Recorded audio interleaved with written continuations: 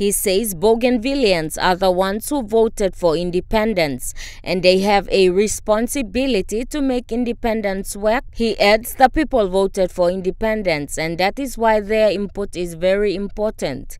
He says for their constitution, the government wants the people to take part and take ownership of the constitution.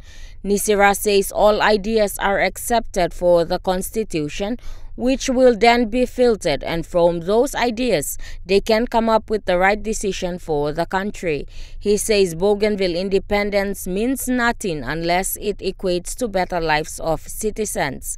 He urged Bougainvilleans outside to come back to Bougainville and contribute in whatever field of experience they have.